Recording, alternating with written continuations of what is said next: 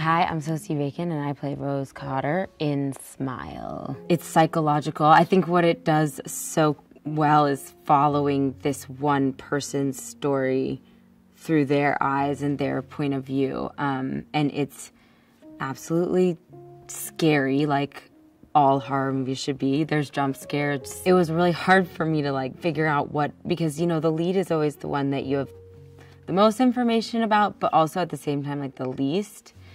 Um, and so it was tough, and I, you know, I tried, I, I did everything that I always do, but I don't know that anything can really truly prepare you for an experience like that, which like with like such heightened emotion for such a sustained amount of time. Not knowing what is your reality and what's everybody else's real I mean, that is everyone's kind of worst fear, isn't it? Like being a person that thinks something that nobody else thinks and trying to convince people of it. Hell. it's a fun horror ride. It's also a really intense horror ride. It looks really beautiful and cool and different and like visually I think people will just get really into it. Particularly if you're kind of a movie buff or a horror buff. Once you get on a movie set, most of the time things just start going away because you don't have time. Everything takes longer than you think it is. And like amazingly he wouldn't he didn't cut shots and stuff like that. And like that's the reason why the movie looks like that because you know, he fought for those shots um, and he fought for those moments and fought to take the time with the private moments. When you see something that is absolutely the opposite of what it normally is, like a smile being absolutely deranged and terrifying, it sticks with you. Like, it, it sticks with you past when you leave. I think that people are constantly going through life kind of covering up emotional pain with social niceties in life. And um, kind of that's a perfect description for like maybe what Rose has been doing up into this point and what she like finds she cannot do anymore. The dead eyes, for sure, the dead eyes. Everybody kind of had that in spades, like knew that that was it. I don't know what makes it I, I don't know if that much is different about it. I mean, a smile just based on context and who the person is and whether or not they're being real and authentic or they're faking or I think that smiles are always about context. The pain chart in in the movie is a brilliant idea and it worked brilliantly. It shows up kind of everywhere and it's so iconic, but like you never think about it the more time I've gotten away from it, the more I really like started to love it because it's mostly that scale that you see in every doctor's office is like for kids because they couldn't, you know, speak about their pain the way that adults could. What I was thinking in the scene was like this scale could never tell me like I'm so off the charts of how much pain I'm in right now, like emotionally that like you don't have a scale for that. You know what I mean? My name is Kyle Gallner and I play Joel. Car films, I've made um, a handful of them. Um, I, I, I think it's a great genre. I think it's, I think nowadays outside of like the superhero genre, it's kind of one of the only sort of surefire things. I mean, there's such a, there's such a, a fan base for you know for horror films and they really back them and support them and love them and um, it's a really it's a really cool community the the horror community. Well i think what's kind of cool about it is it basically it's like a 90 minute long panic attack. You know what i mean? Like you don't know where it's coming from where you don't know if you're dreaming or if you've fallen asleep or or whatever and i think you know having something you can't escape you know and not knowing where it's coming from i mean i think a you're gonna have your character, you're gonna have Rose who's dealing with that, and you, the audience is genuinely going along with her. The, the audience doesn't know it's real or not either. Like there's no hat tipped to give anything away. So when she experiences something, you're really experiencing it for the first time with her as well. Um, and I think that's a really cool way to to go through um, the film, and I think it'll make it much more unnerving and and and you know, I think it'll make it genuinely scary for a lot of people. She has been um, amazing. She is legitimately like everything you want out of a co-star. She's everything you want out of a number one on the call sheet. She um, works incredibly hard.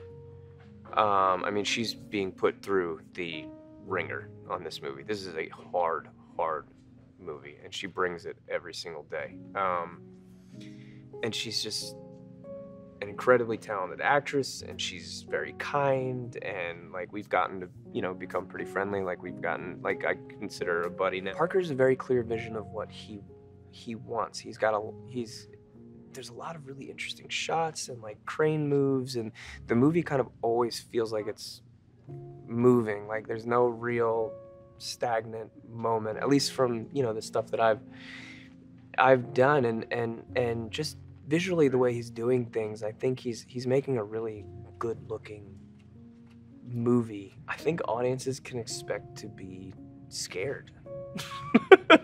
I think it's genuinely a scary film. I think it's just that fear of not being able to trust your own senses or your own grasp on reality. I think scary movies are one genre that really works well in the theater. I think I think the collective consciousness in the theater, the group experience, is a one of a kind thing. I especially believe that when it comes to films like horror movies. I think there's nothing more fun than being scared in a group of, you know, 200 people. Everybody holds their breath at the same time, or everybody, you know, jumps at the same time.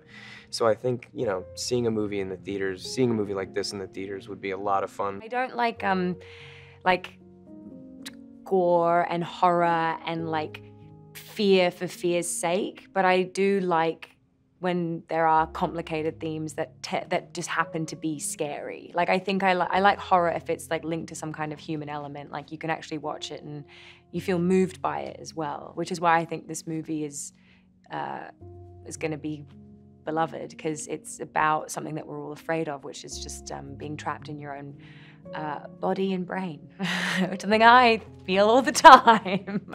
I am sure that the the vision and the goal was to to make something that would become something else. I think that's always the way. Uh, my agent certainly hoped it would become a feature film. I definitely did too.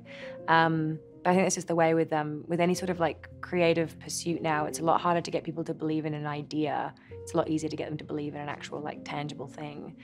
And um, the the short was so well made and so well produced and so um, it was very lavish for a short film, honestly. So it felt like it was definitely always going to become something else. She's lovely. She's, uh, it, it's so hard to be um, on a horror set sometimes because like it, it's a very like emotionally and physically taxing experience. You have to envision your death, the death of everyone you love. The, you know, you physically have to like um, throw yourself around or be thrown around, but she's been incredibly warm. She's really polite. She's very energetic.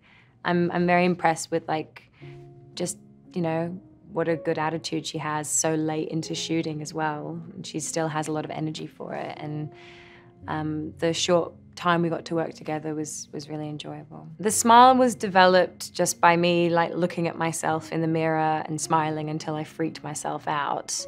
And Parker has like very specific ideas about what he wants, so it was it was just like a matter of degrees. Like tilt your head forward a bit, smile without your eyes.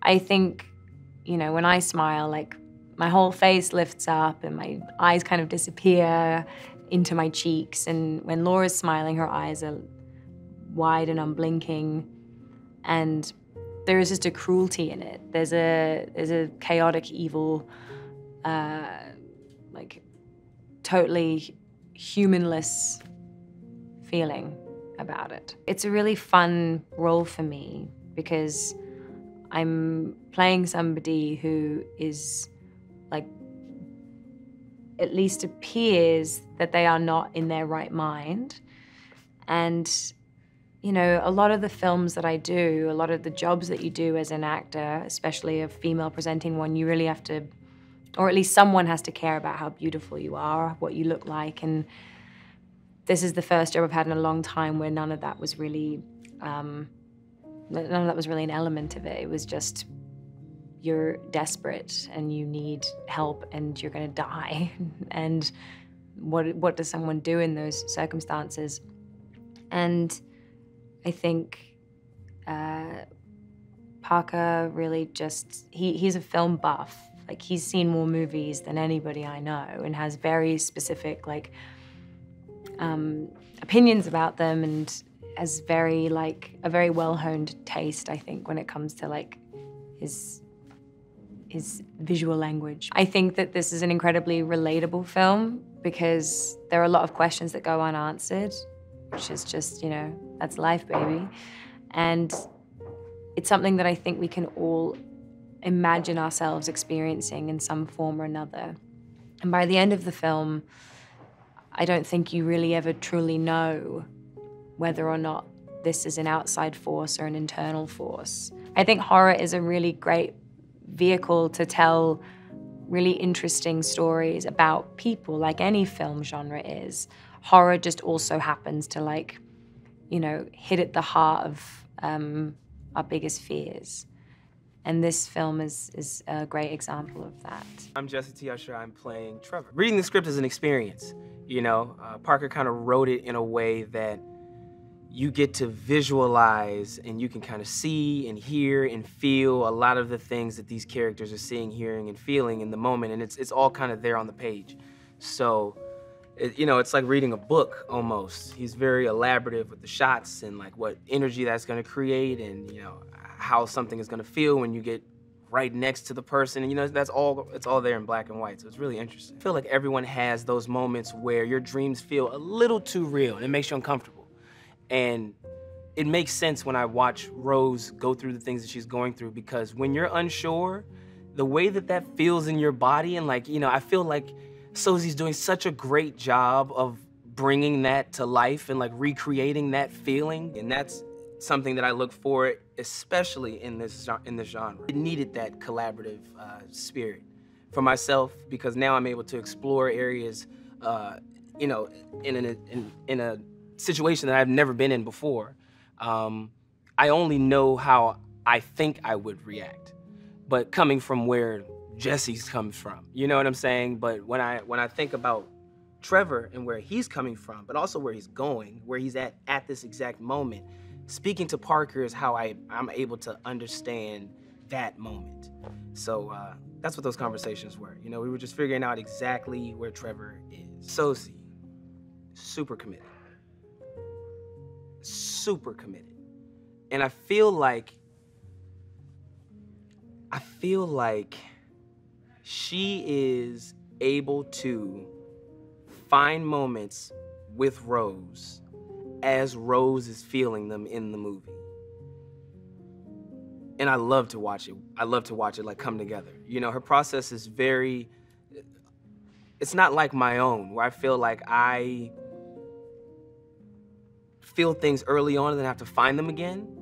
Whereas, you know, with her, I, I can almost watch her in rehearsals realize things as Rose. And it's really interesting. And I just feel like she has a lot of range, but she's able to like keep tunnel vision to to she, she's able to see the end goal no matter which route we're taking and I I love that about her. We did like a little rehearsal read through before we even started filming so we had a lot of conversations. Then, you know, we went and sat and like had dinner and and you know there was um, a couple other people that came and we just talked about the script and like the characters and our our own perspectives and then we sort of pieced a lot of things together from different perspectives because I I'm focusing on Trevor. So you know, I'm obviously breaking down the script as Trevor. So it's, it was really nice to hear Gillian give her part, you know what I mean, and, and say like, well, this is kind of how it feels in her world. And I'm, and I'm for the first time thinking like, oh, you're absolutely right.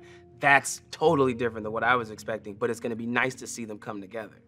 So there was a lot of that. Name's Rob Morgan, playing Roscoe Talley. Parker and I just spoke. Um, I pretty much explained to him what I perceived the character to be, the placement of the character in the script and things of that nature. Uh, he seemed to enjoy uh, my my perspective about it, and um, you know now we're looking forward to go on set and and work together in harmony and, and see what we, we, we come out with. I think we're gonna uh, put a, a good spin on the horror genre and revitalize some aspects of the horror movie genre, and uh, I'm excited to be here for it. Well, Roscoe uh, is smack dab in the middle. Um, he is the only person to have figured out how to break the chain. Um, what I found interesting about Roscoe while reading the script is that he's essentially the freest person in the whole script, but yet he's shackled in chains in jail. So, you know, you have that juxtaposition of what the character is experiencing and the metaphoric energy he brings to the, the, the story. So I found that to be very interesting, some things to kind of play on. Um, and then, uh, yeah, yeah, it, it's very interesting to see his placement in the story, uh, the information that he brings to the story, and then to see the circumstances that he's in. I found that to be very, very, very interesting. I'm Gillian Zinser, and I play Holly. It's really hard to make a script that stands out in the genre, and I think what Parker's done so beautifully is he wrote he, he wrote a really grounded script, but the the camera itself was woven into the script in a way that really stood out as its own character.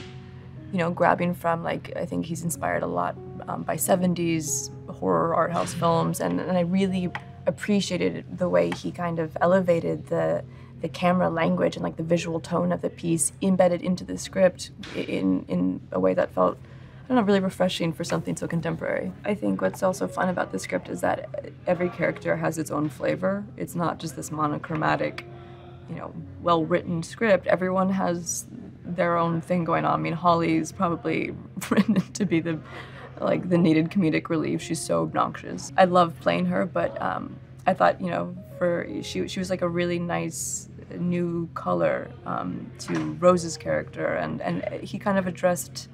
He was really specific with with every character, kind of bringing a different light and tone and and shade to to the script. Playing sisters with Sosie is, I mean, the easiest thing. She's so she's so rad, uh, and we clicked right away. So that's been fun and easy. I think more challenging was was playing against the love that I have for Sosie with this with this sister dynamic that exists between Holly and Rose, who do not get along and have nothing in common and just go tete a tete, you know, in such frustrating ways more often than not. Sosie and I are just, I mean, we're very much alike and we're very similar. So um, it's been more challenging trying to not like Sosie as much when we're going into Holly and Rose mode. What makes Parker really fun to work with, and, and some of what I really liked about our early conversations about this film was that, of course, you know, as an actor, you want to ground your performance and you want to make it believable, and the last thing you want to do is push it into the wrong tone or, uh, you know, have Holly come across as a caricature. But um, it's it's really it's really beautiful to have a trust in a director's vision where I'm just sort of like, do whatever you want. You know, you you guide my tone, you push my levels, um, because ultimately, you know, he has he has the whole picture in mind, and and we're just flying in as these shades and colors and strokes on his palette, and so uh, it's sort of play a character who kind of comes across a little bit more. Um, caricature and comedic in a script that's quite grounded, you know, and again, next to Sosie, who's so grounded and natural in her performance. So that's been both challenging, but also really fun and and kind of like a nice, refreshing relief as an actor to just be able to, you know, allow someone to to guide my levels and to just totally trust them to do what they will with it. Sosie's a beast. Uh, this is such an exhausting role and such an exhausting shoot, and I don't know many actors would weather that with the grace and fortitude that she can. I mean, take after take after take, there go, she can go like zero to sixty in a millisecond and back to back takes. It's just uh, she's like a powerhouse, and it's phenomenal to to watch and exhausting to watch. Holly is so easy to hate. She's just this narcissistic alpha, um, super controlling, uh, totally oblivious I mean, she, she's she's the worst, you know. And then in this moment, you you understand a bit of why, and how these two sisters who have gone on such completely different paths in life, um, why they each made those choices, and how both of their choices stemmed from uh, the same trauma and what they decided to do with their pain. And Holly decided to to shut off and shut down and not deal with it and run away and just pretend that you know everything's fine, everything's fine, everything's fine. Whereas Sosie's character decided to try and work with that pain and uh, and become you know a therapist and help others.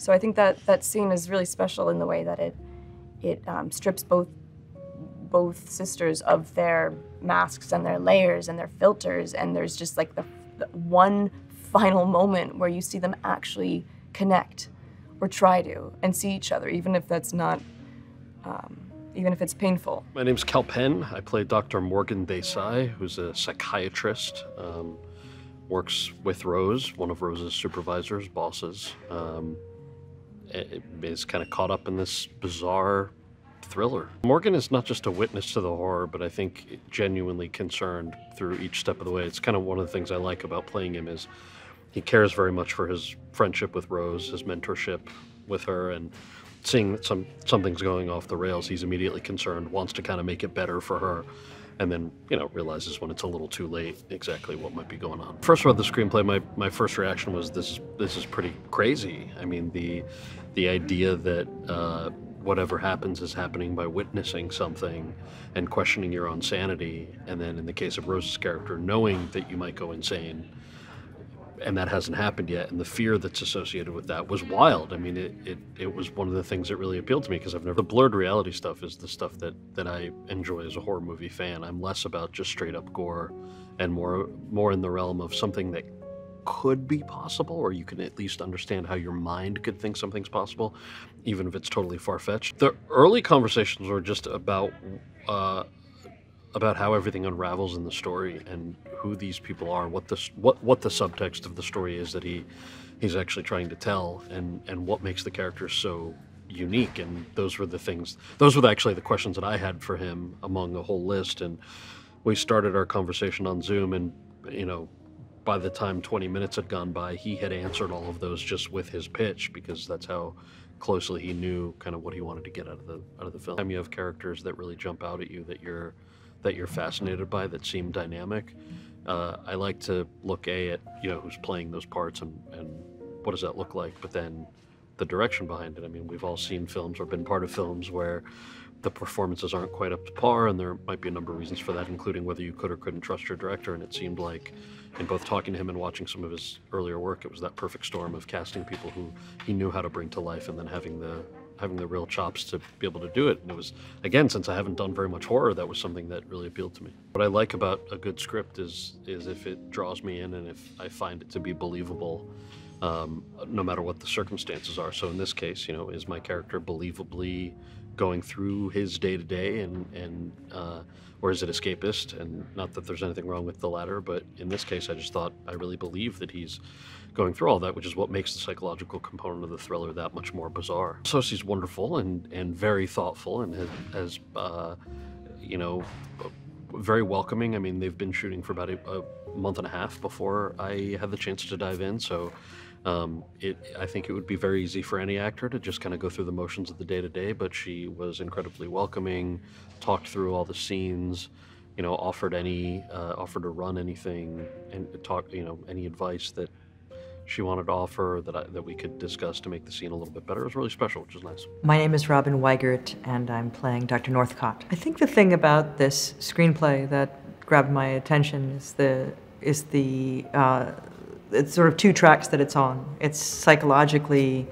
sound, even though it's horror. That seemed to give um, some teeth to the film. You know, I, I, it, it it's definitely yeah, we're we're in the world of the paranormal, we're in the world of the supernatural, but it but it also feels sort of grounded in psychological truth. I do think it is a bit of na- of uh, uh, kind of what we're collectively going through right now is is a bit in the film, uh, which is to say uh, the nature of reality itself feels like it's in question right now for many people. Well, uh, many people are, exper- are experiencing what, what this protagonist is experiencing on some level, which is to say, feeling paranoid, feeling like people who they thought they knew are not who they thought they were, and those kind of things. It feels actually then very much of this moment. And I think horror in general um, popular forms of horror take hold at times when it is relevant to what's going on socially and in the society. So I guess this movie has a chance of striking a nerve in that way. Dr. Madeline Northcott um,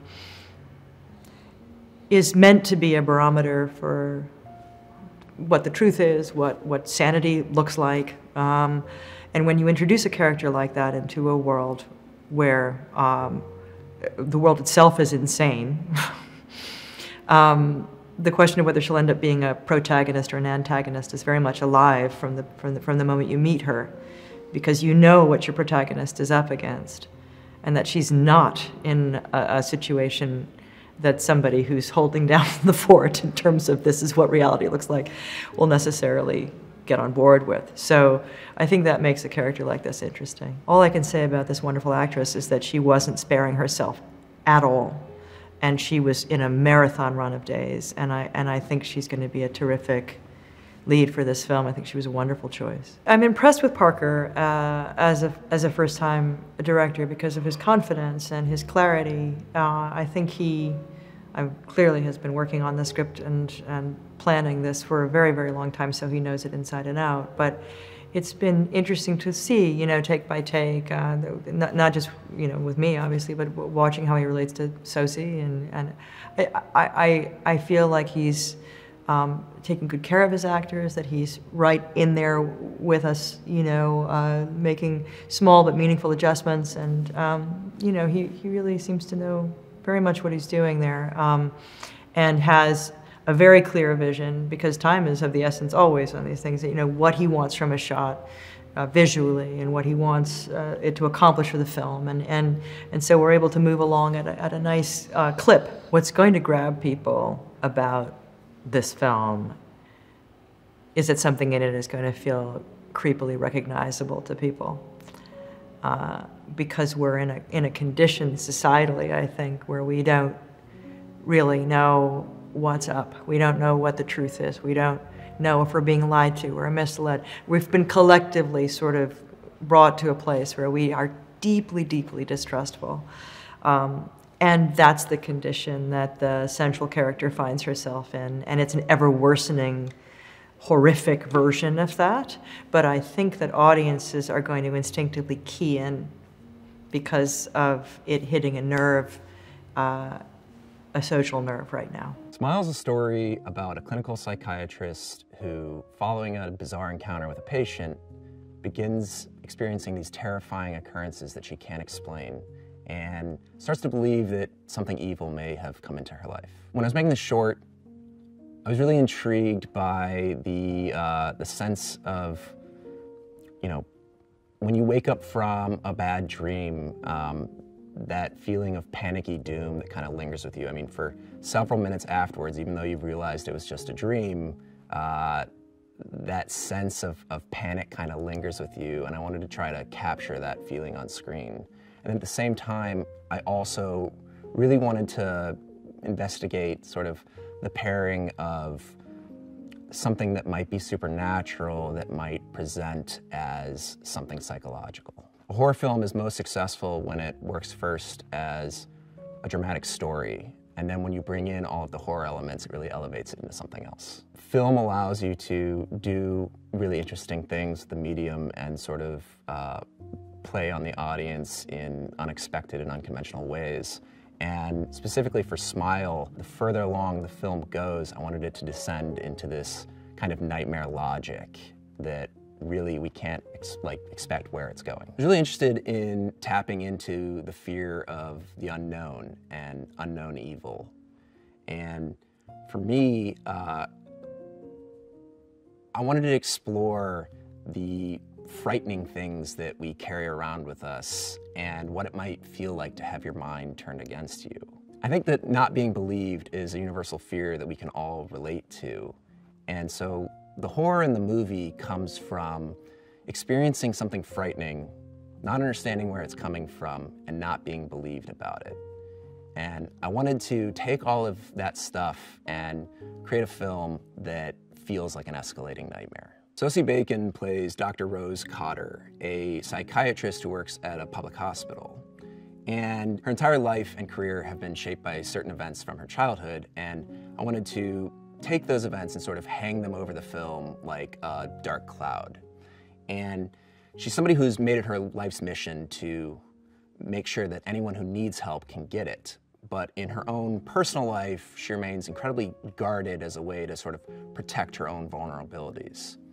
And when things start spiraling out of control for Rose, she finds that the tables have turned for her, and suddenly she's the one experiencing these impossible things, and no one around her is believing anything she's saying and she's going to have to face the things that she fears most if she wants to survive. Sosie came to the film incredibly prepared. Uh, she had created this document that she called Core Knowledge about the character, and leading up to production, we were talking constantly, trading ideas back and forth, and really working on the character together.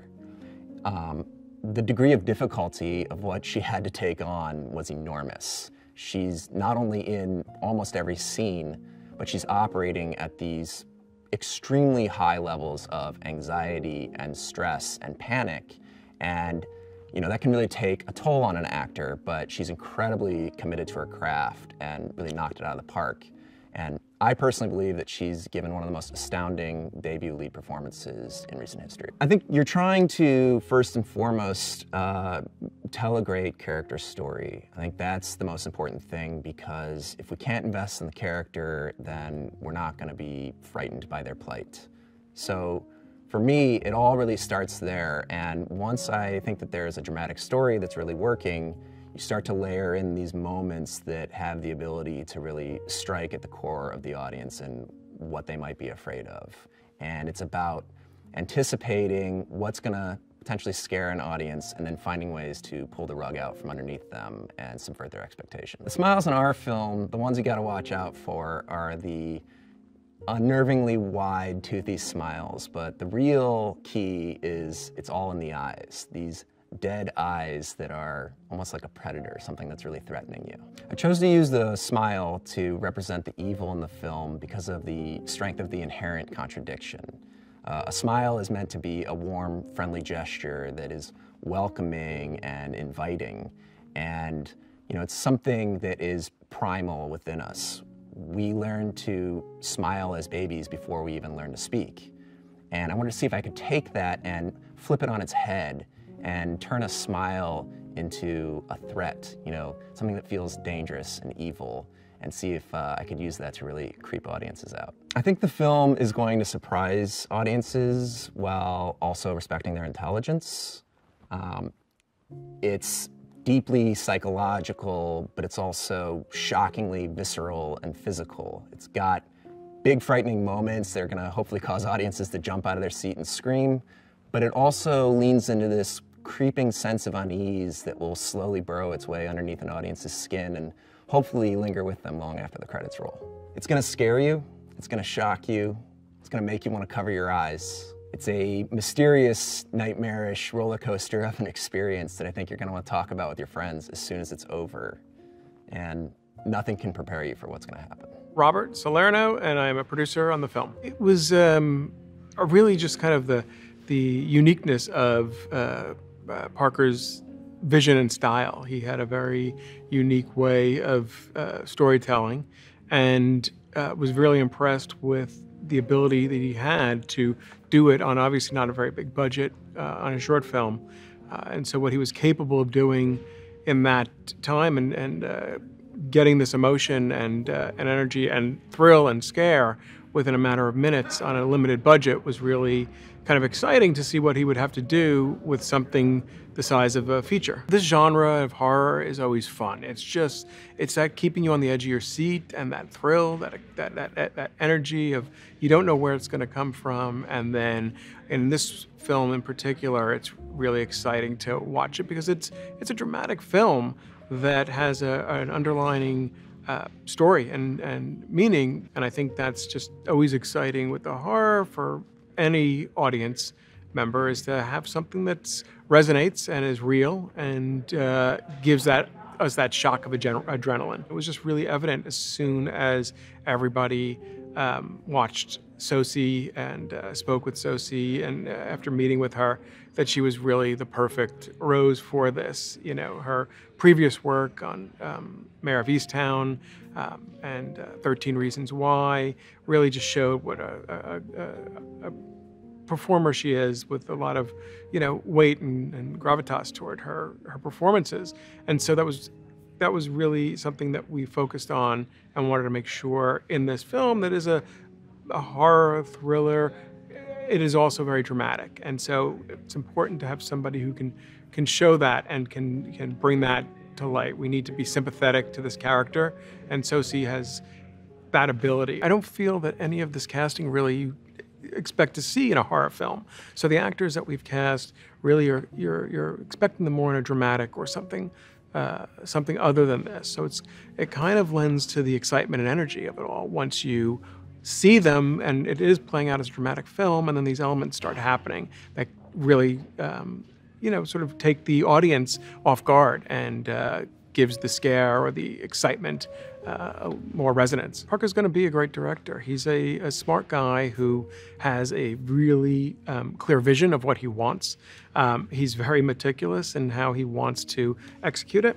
It's um, it's fun to sort of work with somebody like that when they've got this idea um, that they sort of work through and they they want to want to uh, establish and they will collaborate. He'll collaborate with um, his his team and um, and and bring it bring it all together. I mean, he really loves the um, a lot of the technical aspects and um, the the um, the detail of what uh, we're doing. He pays great attention to all of that. So it is you know challenging in terms of everyone's got to like be on and and uh, and ready to do it.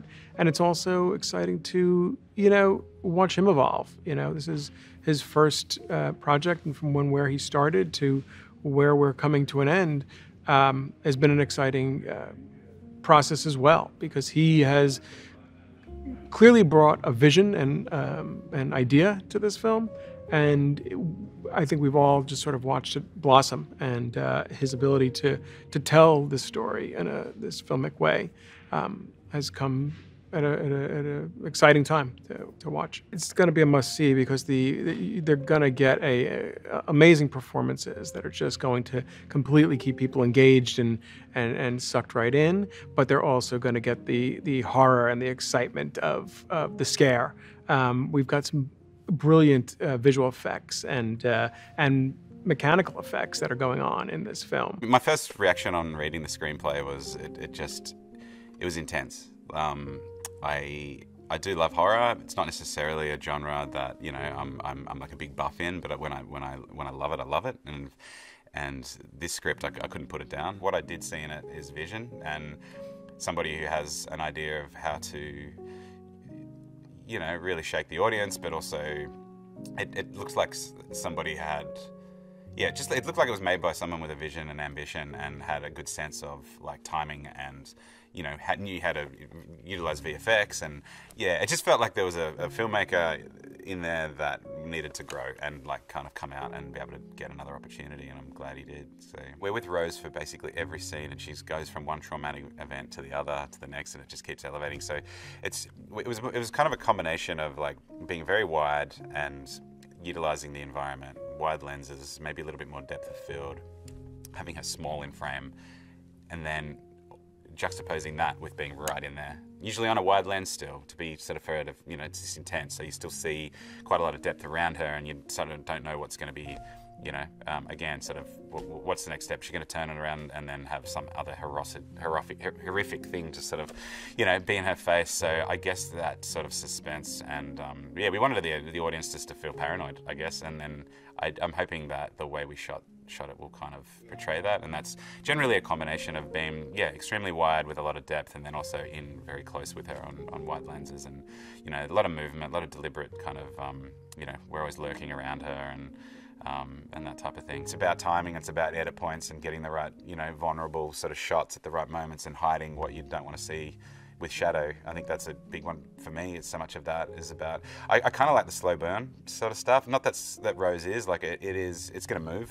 It definitely is going to move, but I think the way the scares and things are set up, it's more about just moving slowly through that, and then maybe something will happen quickly. But it's not. It, it's not this like uh, sort of constructed jump scare. Yeah, I, I, I, don't know. Maybe some of that. I think there, there. Come to think of it, there's a couple in the film, but it wasn't necessarily like this um, really sort of constructed thing. Yeah, it's more like everything's sort of slow, and then bang, you've got something that's really freaky. She's brilliant. Like I, I love Sosie. It was great working with her. Um, but for her to bring that energy to set every day and just be jumping in and out of scenes with, yeah, for all different levels of despair, from outright you know, an outright breakdown through to just being miserable and depressed. It's like it would have been, it would have taken its toll. Like I, she, she did a great job, and you know, I, I'm, you know, either on the camera or like looking very closely at the monitor, and I'm not seeing, I'm seeing consistency there, and, and I think that would be so difficult, you know, to be to be having some panic attack one day and then a week later you've got to pick it up to the next scene and then come in from that and be like okay cool ready to go. And and you know the sets everyone's sort of doing their thing. Everyone's just busy doing their job, buzzing around her, and you know she's got people doing makeup in the morning, and there's people laughing, and there's, you know, it was a very well run, ordered set. But you know what I mean? There's, there's everyone's got their own stuff to do, and just for her to be in that space of like, all right, it, it, I, I really admire what they do. This is going to be like terrifying, entertaining, hope sometimes humorous. I think. I hope. I don't know. Maybe I've got a sick sense of humor, but. Uh,